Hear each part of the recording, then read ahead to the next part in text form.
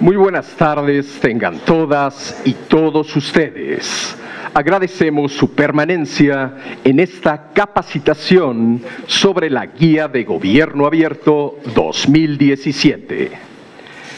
Para continuar, escucharemos las palabras introductorias del maestro Francisco Álvarez Córdoba, director general de Gobierno Abierto y Transparencia del Instituto de Transparencia, Acceso a la Información y Protección de Datos Personales. Muchas gracias eh, a todas ustedes por, asistir a este evento. Gracias eh, a la Secretaría de la Función Pública por la disposición eh, y el trabajo que hemos desarrollado, a, la titular de la Unidad de Políticas de Apertura Gubernamental y Cooperación Internacional, Alejandra Rascón, que además, bueno, hemos sido colegas en muchas batallas por la apertura institucional. También felicidades por tu nuevo encargo, Alejandra. Este, sé que lo vas a hacer muy bien. Voy a poner todo mi empeño. Así será. Y a ustedes, titulares de las unidades de transparencia y titulares eh, también de los órganos internos de control, eh, el tema que traemos, bueno, pues es eh, introductorio a la guía de Gobierno Abierto 2017 que, se presenta el día de hoy. Y bueno, he preparado una, una, pequeña presentación, si no tuvieran inconveniente, para explicarles un poco de qué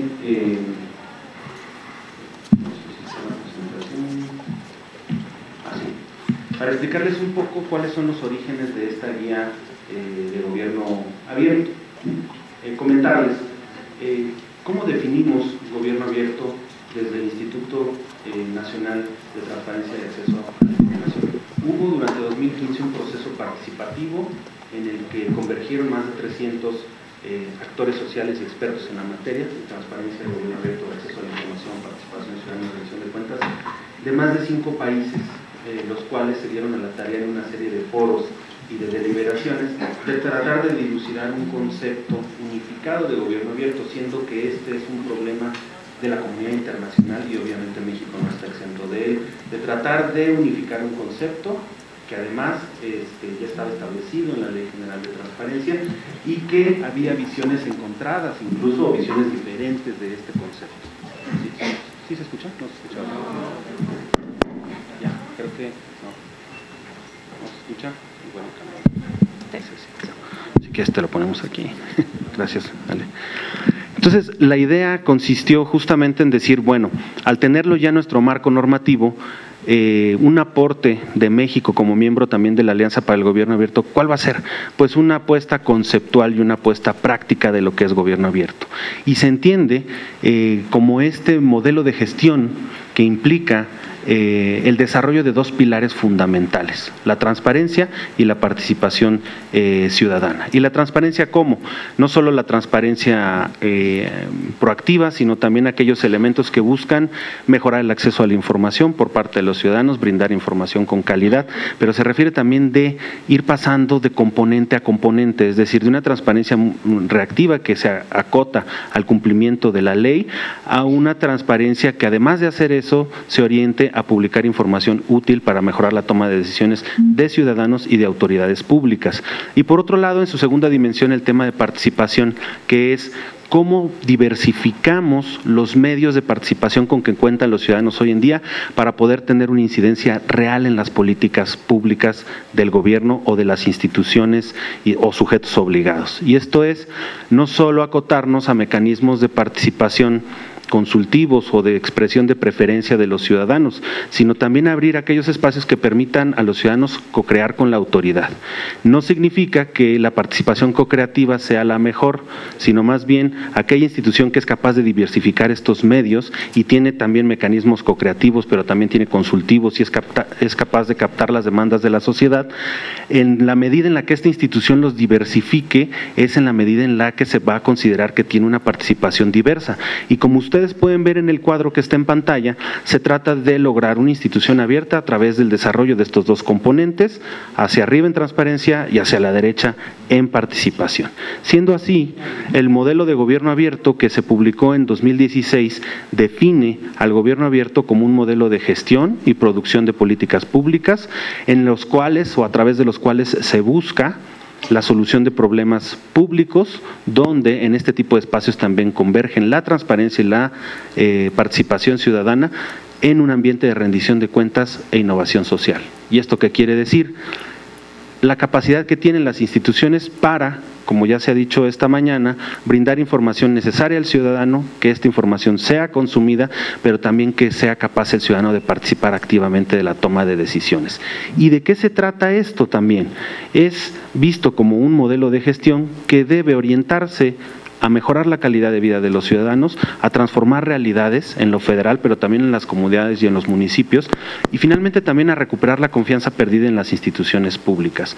Esto, eh, con los diversos temas que ustedes manejan, pues solo vienen aquí estos ejemplos, ¿no? Debe impactar justamente en mejorar algún servicio de salud, en mejorar algunos aspectos de la educación pública, oportunidades de empleo, seguridad pública, información útil para la toma de decisiones, etcétera. ¿Y dónde nos encontramos hoy en día en materia de gobierno abierto? Pues ustedes conocen este instrumento, que es la métrica de gobierno abierto, que busca eh, medir en toda la tipología de sujetos obligados de la ley federal, de la ley general, perdón, cómo se encuentran las condiciones de apertura. El ciudadano puede o no consumir información, obtener información que le sirva para su toma de decisiones, desde la oferta que hace la institución hasta la demanda de esta información y también desde la oferta de mecanismos de participación hasta si los ciudadanos son capaces de activar uno de estos mecanismos de participación. Y los grandes hallazgos de la métrica son los que ustedes están viendo en pantalla. El pilar de transparencia eh, a nivel nacional parte de una base sólida de acceso a la información donde se puede acceder a información vía una solicitud de información sirven, funcionan las estructuras creadas para ello. Sin embargo, el gran reto se encuentra en participación. Ustedes ven que el índice de gobierno de es .39 a nivel nacional, lo cual es muy bajo. Eh, pero en transparencia parece mucho mejor evaluado, lo cual no quiere decir que sea lo idóneo la calificación que sacamos a nivel nacional, pero que, vamos, eh, que estamos dando pasos firmes frente a ello municipal, estatal y federal. Ustedes pueden ver aquí los diferentes índices y subíndices eh, que componen este, este índice y es lo mismo y se repite. Transparencia va caminando, acceso a la información va caminando. La gran agenda pendiente en tema de transparencia también es no solo cumplimiento de la ley, sino también datos abiertos y transparencia proactiva. Pero se repite el punto de eh, el rezago que existe en los mecanismos de participación.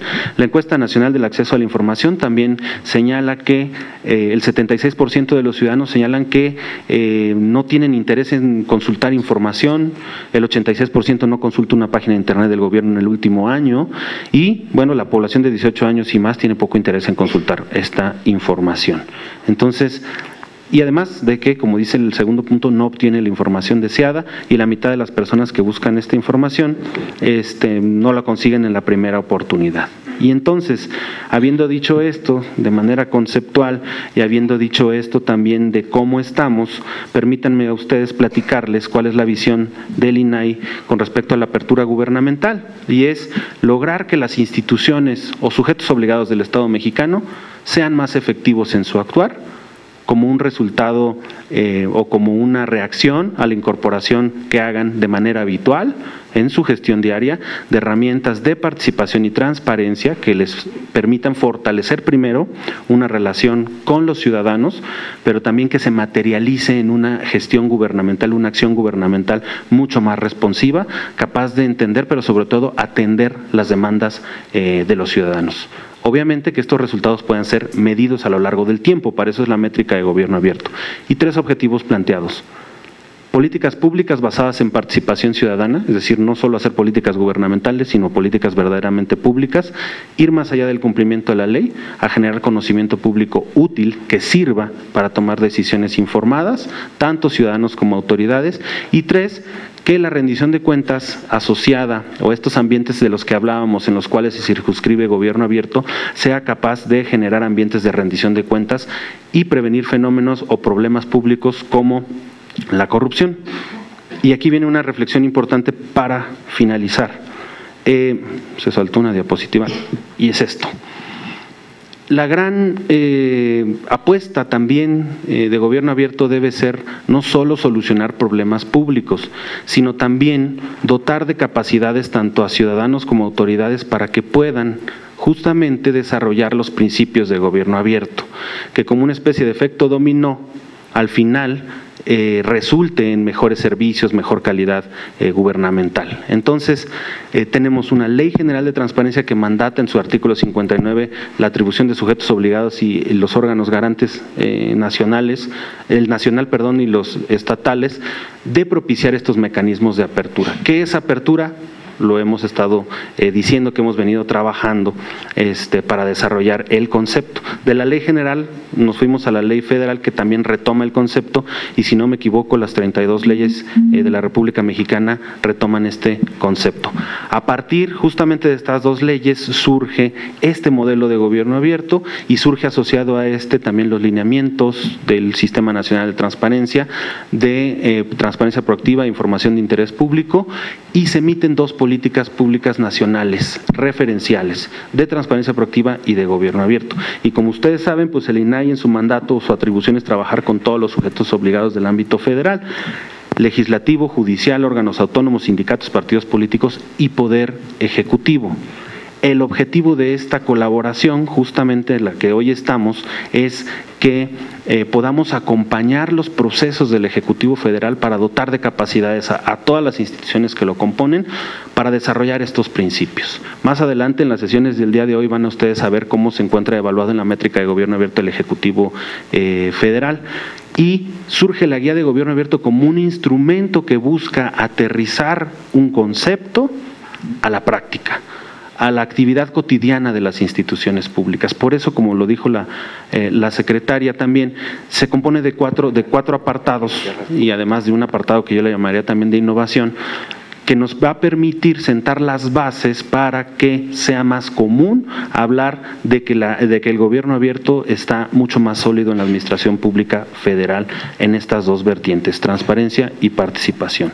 Y finalizo con el comentario de eh, la orientación de esta guía es hacia fortalecer capacidades, hacia permitir la diversificación de los medios de participación con los que cuenta el ciudadano para poder tener una incidencia real en política pública, pero sobre todo a ustedes y a nosotros como servidores públicos que nos permita, uno, entender un concepto, dos, no perdernos en el concepto que es gobierno abierto como algo etéreo, sino como algo práctico que nos sirve a nosotros en nuestras funciones día con día.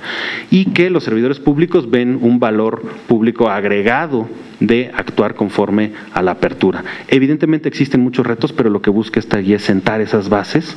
Como ustedes saben, existe una colaboración estrecha del INAI con la Secretaría de la Función Pública con la unidad de, políticas de apertura gubernamental y estaremos en conjunto acompañándolos a ustedes en esta implementación de esta guía, si tuvieran dudas, si tuvieran comentarios, este, seguramente ustedes vieron la guía y hay eh, un universo acotado de sujetos obligados a los que se dirige, lo cual, dicho sea de paso, también no exime a, las, a los sujetos obligados de las responsabilidades que por normatividad tienen ¿no? Entonces, si bien está acotado un universo de sujetos obligados, es importante saber que este, todos tenemos que implementar este tipo de acciones, incluso también el, Instituto Nacional de, Transparencia. Esta guía es armónica con los, uno, los lineamientos eh, de transparencia proactiva información de interés público del Sistema Nacional de Transparencia y también con los lineamientos de Segove en materia de participación. Por lo tanto, su cumplimiento implica un cumplimiento de ambos instrumentos normativos. Por eso también la recomendación es a todas las instituciones que no se vean en el universo, háganlos, porque es una herramienta que a ustedes les facilite el cumplimiento de estos instrumentos novedosos. Entonces, eh, nosotros también desde el INAI y en coordinación con la Unidad de Políticas de, Apertura Gubernamental de Función Pública, nos ponemos a, su disposición también por si requerirían alguna asistencia técnica, un acompañamiento permanente. Nosotros con mucho gusto eh, lo podemos eh, dar. Eh, yo les agradezco mucho. En pantalla ven mis datos y ven los datos del director de Transparencia Proactiva del INAI y de la directora de Gobierno Abierto también del INAI para, si les es útil este, algún acompañamiento específico, pues nosotros con mucho gusto lo podemos hacer de la mano de función pública y eso es bien importante que ustedes lo tengan este, en el radar. Muchísimas gracias a todos ustedes, muchas gracias Alejandra.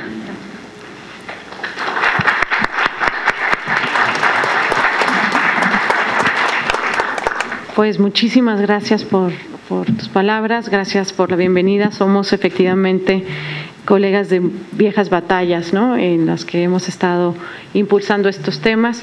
Eh, quiero agradecer de manera especial al comisionado Joel Salas por acompañarnos en esta sesión, así como al maestro Adrián Alcalá, que nos acompañan del INAE junto con todo su equipo, y agradecer también y de manera muy especial a ustedes, a los enlaces para esta guía de gobierno abierto que atendieron a la convocatoria y que hoy están representadas en este auditorio cerca de 100 instituciones de la Administración Pública Federal.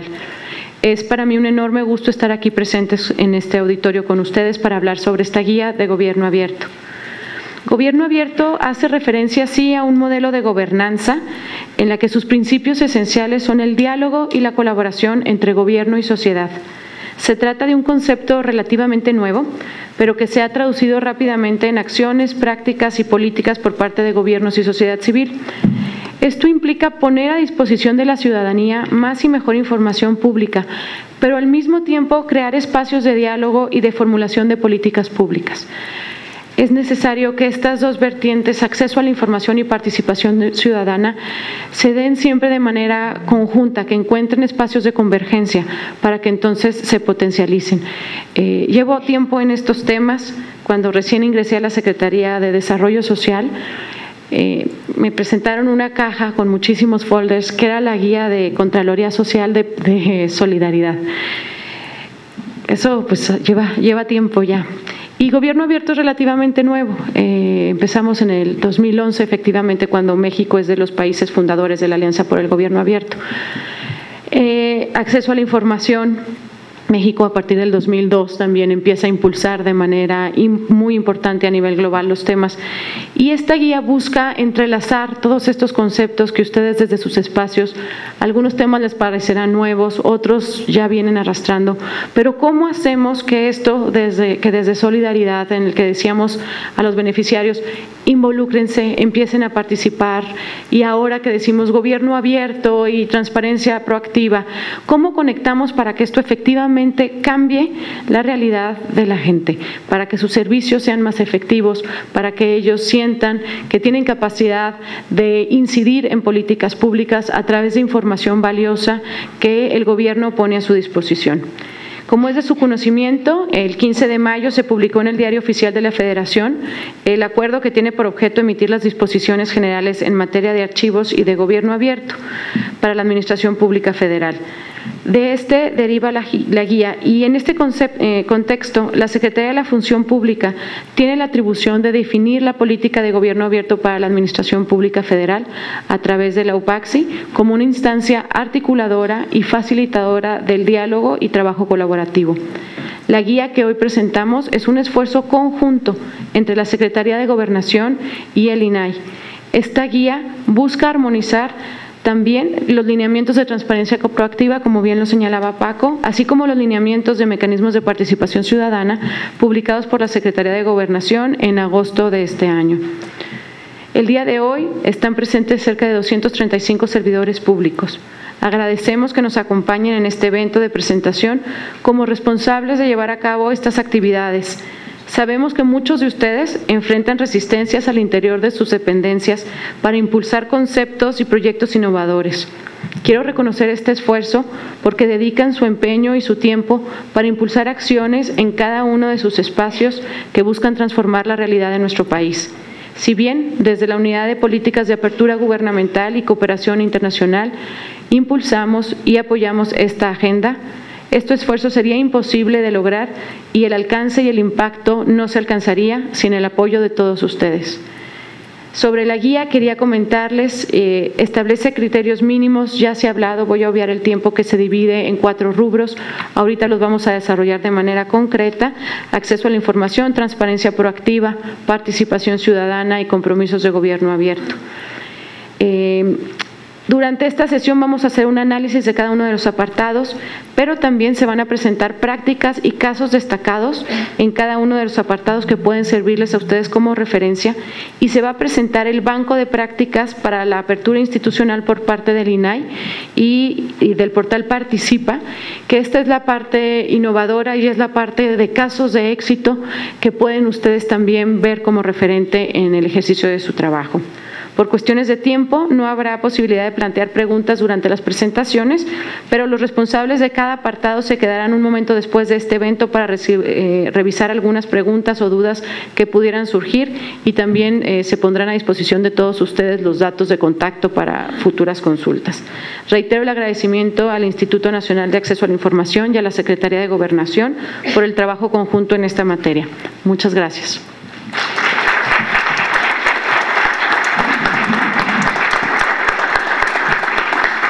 Agradecemos muy cumplidamente las palabras del maestro Álvarez Córdoba y de la señora titular Alejandra Rascón Rodríguez. Daremos inicio ahora a las sesiones temáticas, mismas que esperamos sean muy provechosas para todas y todos ustedes. Sí. Hola, buenas tardes. Mejor me lo alejo. Eh, bueno, vamos a dar inicio con el primero de los temas de la guía, que es el de acceso a la información. Para este tema nos acompaña el licenciado Gregorio Castillo, director general de Enlace con la Administración Pública Centralizada por parte del INAI, que nos va a exponer las prácticas del INAI respecto a este tema. Y su servidora Blanca Maínez, eh, soy el enlace para todos ustedes aquí en la Secretaría de la Función Pública, adscrita a la Unidad de Políticas de Apertura Gubernamental y Cooperación Internacional. Bueno, inicio con, eh, como ustedes vieron en la guía, el tema de acceso a la información eh, le compete, eh, de acuerdo a la guía, pues, a realizar a 10 instituciones. Estas instituciones se eligieron de acuerdo a las que tuvieron más solicitudes de información el año inmediato anterior. No significa que si ustedes desean realizar el ejercicio de manera voluntaria no lo vayamos a aceptar. Por supuesto, los comentarios y el ejercicio de todos son bienvenidos. Y también, bueno, si ustedes deben de dar cumplimiento a otros compromisos en temas de acceso a la información, deberán de llevar a cabo las acciones necesarias para este cumplimiento.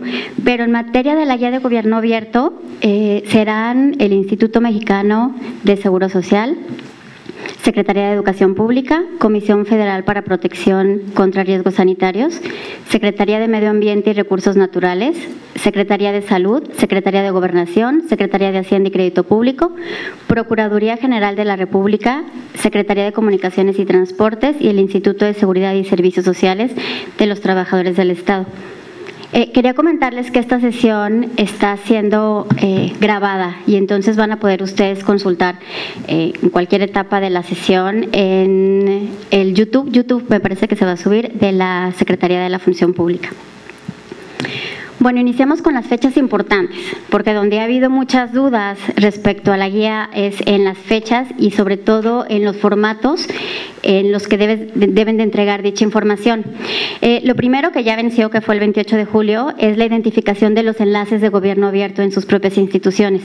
Para el tema específico de acceso a la información, el enlace son los titulares de las unidades de transparencia. Entonces, si no nos hicieron llegar el, el enlace, bueno, nosotros sabemos con quién debemos de contactarnos.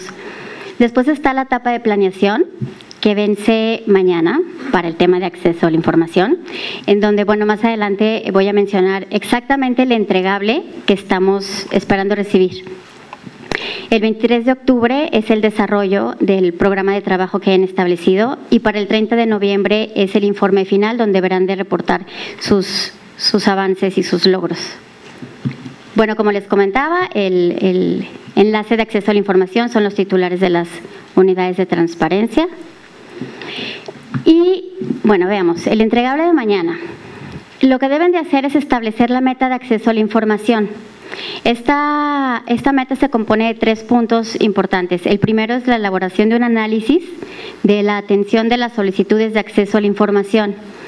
Este análisis es a través de un escrito libre. Ahorita en la siguiente lámina eh, les voy a decir puntualmente qué debe de contener este escrito. Eh, segundo punto es establecer la meta para mejorar la atención de las solicitudes. Esto se plasma en el anexo 5 que viene en la misma guía, pero que ahorita se los enseño por si tuvieran alguna duda. Y por último es el, eh, se desarrolla el proyecto de acceso a la información también plasmado en el anexo 5. Como primer punto de este escrito libre, deberán entregar eh, la identificación de los días hábiles promedio que la institución tarda en las fases del proceso de solicitud de información, es decir, de la recepción, el procesamiento y trámite de solicitudes, resolución, notificación de respuesta y entrega de información. Adicionalmente, eh, identificar el proceso interno para responder las solicitudes de información, identificar los recursos humanos o tecnológicos con que cuenta la institución para dar atención a las solicitudes de información, identificar cualquier otra información relevante que nos sirva a nosotros para tener claro que la meta que proponen es alcanzable y también para conocer las condiciones de la institución, porque muchas veces al no saber la problemática con la que cuentan, pues no nos queda claro si la meta está bien establecida o no. Eh, todos estos puntos son en un escrito libre, un Word, y como ustedes decidan van plasmando esta información. Esto es parte de lo que se entrega el día de mañana. Em, en el documento de mañana también deben de establecer la meta para mejorar la atención de solicitudes de información, eh, como por ejemplo puede ser eh, la disminución en los tiempos de respuesta, la calidad en las respuestas de las solicitudes de información o la disminución de recursos de revisión derivado de las solicitudes. Esto se plasma en el anexo 5 que viene en la propia guía. Y como tercer punto, en ese mismo anexo eh, van a desarrollar las actividades, bueno, las van a plantear, las actividades que pretenden desarrollar para dar cumplimiento a la meta. Aquí eh, van a establecer una hoja de ruta este es el anexo, este es el anexo 5. Entonces, adicional al informe escrito, entregan este anexo 5, en donde establecen la meta y el objetivo y cuáles son las actividades necesarias para lograr la meta planteada. enumeran cada una de las actividades, eh, establecen la fecha en la que pretende dar, dar, cumplimiento a cada una de ellas, la justificación de por qué eh, consideran que esa actividad es necesario para dar cumplimiento a la meta, un, un indicador de gestión por actividad. Esto puede ser muy sencillo porque eh, ha habido varias dudas de que si estamos esperando indicadores eh, complejos o de resultados para las propias actividades y claramente no. Son indicadores de gestión nada más que nos permitan identificar eh, que efectivamente llevaron a cabo la actividad y cómo la midieron. Y por último, el medio de, verificación. Es muy importante que establezcan eh, claramente qué nos van a entregar para comprobar que se hizo la actividad, porque no solamente será mencionar el medio de verificación, sino que pediremos la evidencia del cumplimiento de la actividad. La segunda fecha, bueno, todo eso es para el día de mañana, que esperemos ya lo tengan casi listo. Si no, acuérdense que al final vamos a estar para atender dudas y puedan hacerlo en un día. La segunda actividad que vence el 23 de octubre es, bueno, llevar a cabo el plan definido y mostrarnos también en un escrito libre eh, los avances. ¿Qué necesitamos principalmente en este escrito? Bueno, que establezcan obviamente la actividad que realizaron, la fecha en la que le dieron cumplimiento, pero aquí sí es muy importante que ya nos anexen la evidencia. O sea, el medio de verificación es muy importante para nosotros para así tener muy claro cuándo establecieron y de qué forma la actividad. Eh, es escrito libre, como ustedes deseen presentarlo, pero sí que tenga la mayor cantidad de elementos posibles para que nosotros podamos analizar la información de ustedes. Eh, este informe habrá que presentarlo el 23 de octubre. Y por último es el informe en donde se reportan los avances y logros de la meta. Aquí es importante, bueno, como dice la, lámina, mostrar los resultados obtenidos en el plan de trabajo y el cumplimiento de la meta planteada. También es un escrito libre. Y aquí lo que necesitamos es que, digamos, redacten todo lo que pusieron en el anexo 5, o sea, la actividad realizada, la fecha en la que se completó la actividad, cuáles fueron los indicadores, los resultados alcanzados y una vez más la evidencia de los medios de verificación. En la guía también eh, verán un cuestionario, que es el anexo 2. El 30 de noviembre también necesitamos que nos envíen las respuestas a ese cuestionario. Ese cuestionario evidentemente ustedes lo van a hacer tal vez antes para poder establecer las metas de los diferentes componentes de la guía y nos van a ayudar a nosotros todas las respuestas del cuestionario muchísimo, identificar exactamente la problemática de cada institución y poderle dar como a cada uno, dependiendo de sus circunstancias, el, manejo debido. ¿no? no todas las instituciones tienen eh, los mismos recursos humanos o tecnológicos o se enfrentan a las mismas problemáticas. Entonces, a través de este cuestionario nosotros podemos ver realmente el estado de la institución y así poder eh, pues darle seguimiento a, los resultados que nos hayan enviado. Para cualquier duda que tengan relacionado, bueno, a todo lo que dice la guía en el tema de acceso a la información, estos son mis datos. Pueden llamarme sin, sin problema a cualquier hora, bueno, laboral. Y, pero como quiera, eh, aquí al finalizar las sesiones eh, voy a estar, por si tienen alguna duda específica, no duden en contactarme. Eh, de verdad estamos para servirles y apoyarles en, en, este proceso, porque bueno, algunas de las actividades son nuevas y sobre todo si tienen dudas con los formatos, también bienvenidos todos los comentarios. Bueno, a continuación el licenciado Gregorio nos, nos presentará desde la óptica del INAE las, las prácticas. Muchas gracias. Muchas gracias, Blanca. Muy buenas tardes. Eh, de mano mi agradecimiento a la Secretaría de la Función Pública, Alejandra, tu equipo, Blanca. Eh, agradezco a mi amigo Paco Álvarez que me permita participar en esta actividad y con el permiso del comisionado Salas, pues daré inicio a mi exposición. Parto de, ah, del punto de vista de la importancia de la unidad de transparencia, lo decía ya en su eh, intervención el comisionado Salas, la unidad de transparencia y eso, porque me ha tocado a mí también ser titular de la unidad de enlace, cuando antes eran unidades de enlace, es un motor desarrollador al interior del sujeto obligado. Y me permitía agregar también la cara institucional en materia de transparencia hacia afuera, hacia el ciudadano. Y en esta lógica del gobierno abierto, pues ello implica evidentemente una participación ciudadana importante. Los cuatro puntos que aquí yo presento y pongo a consideración de ustedes eh, tienen que ver precisamente con buenas prácticas a través de la unidad de transparencia del INAI. La primera tiene que ver con marco normativo. ¿Y a qué me refiero con ello? Si bien desde la base constitucional del derecho de acceso a la información, que prevé nuestro, el principio de máxima publicidad y toda una serie de conceptos que eh, desde el 2000, la reforma constitucional de 2007, ahora con la reforma de febrero de 2014, bueno, genera y establece todo lo que eh, me he permitido denominar el régimen jurídico de transparencia en nuestro país. De ahí se va eh, desenvolviendo, se va desarrollando en un efecto cascada en el orden normativo. Tenemos una ley general de transparencia, una ley federal. se nos ha establecido, ya sea por parte del Sistema Nacional de Transparencia o de las atribuciones de eh, reguladoras del propio pleno del instituto, pues una serie de instrumentos normativos, por ejemplo, procedimientos internos para la atención de solicitudes de información, los lineamientos sobre la clasificación de la información, en fin.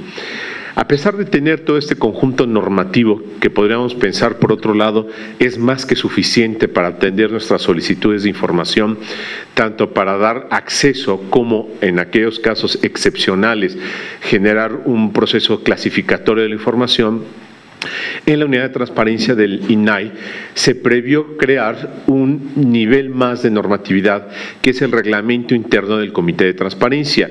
Eh, emisión, que por cierto sí tiene un fundamento legal, que ahí aparece, obviaré su referencia, pero en el cual juega un doble papel la emisión de este reglamento. Por un lado, salvo que algunos de ustedes, queridos colegas de las unidades de transparencia o, bien de órganos internos de control me, corrija, no hay como un reglamento interno de cada comité de transparencia en el seno de cada sujeto obligado. En nuestro caso se decidió sí llevarlo a cabo porque juega una doble vía. Por un lado, la emisión de un reglamento interno del comité de transparencia per se es en sí misma una buena práctica de transparencia proactiva. Pero además, en este reglamento interno se regulan las siguientes buenas prácticas que voy también a explicar.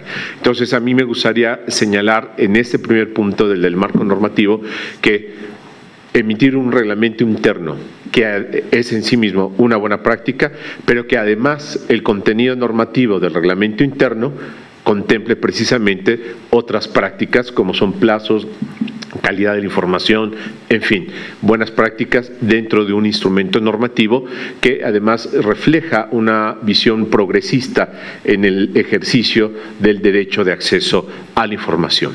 Esa es la primera que yo quisiera señalar. La segunda tiene que ver con la mejora de los procesos. Esto es para un mejor proceso eficaz, eh, en el entendido que esta eficacia radica en quienes asisten al Comité de Transparencia. En sus orígenes, con la Ley Federal de Transparencia de 2002, pues se había visto en cierta medida con un cierto reojo, una mirada por encima, eh, la importancia de la labor que desarrolla